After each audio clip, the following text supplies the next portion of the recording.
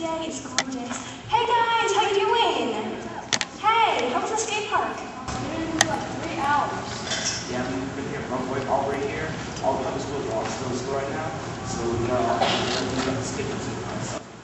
Wow, I love that. That's one of the best things about being homeschooled. You know, I just love it. But you know, a lot of people don't understand homeschooling. You know, they don't get it at all. They think we just sit at home and and do nothing. You know what I'm talking about?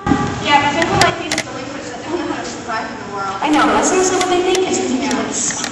I'm an socialized homeschooler. Me too.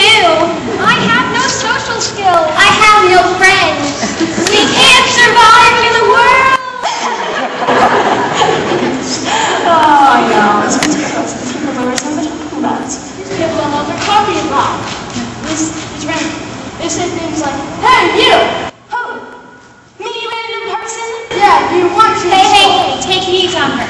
She was homeschooled. yes, homeschooled. Wow.